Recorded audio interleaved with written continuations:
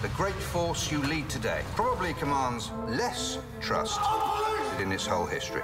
It's very nice to see you too. No one knows how to mock like the Brits. Or rather, to be specific, to Babylon, debuting on Sundance TV tonight, no one knows how to mock like Oscar winner Danny Boyle, along with fellow series creators Sam Bain and Jesse Armstrong. In what is truly a spare no prisoners effort, this six part dark comedy dramedy, co produced with the UK's Channel 4, is a backstage pass to a culture clash deluxe as an American PR guru, played by Brit Marling, tries to refocus and redirect the often seemingly willfully obstinate and lead footed London Metropolitan Police, its viper filled upper echelons, and its boss, played by the once again top notch James Nesbitt, into the modern media age.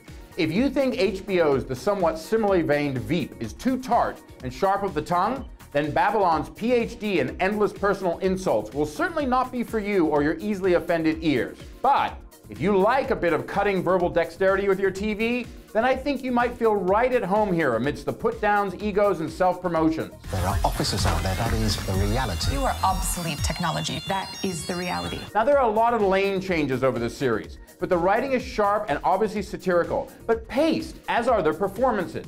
Now, to that end, a lot of attention will be given to Nesbitt and Marling, both of whom are excellent, especially the missing actor, who shows a whole other acerbic side of himself. I'm on 24 hour a day storm watch. I sleep like a cookie meerkat on an electric fence. That's me relaxing. However, I think the real strength of Babylon, like Veep and its long distance sibling in the thick of it, is in the supporting cast and characters. As the ambitious Deputy Commissioner, Paterson Joseph, shines, while Bertie Carvel slithers as the slimy communications deputy to Marling's Liz.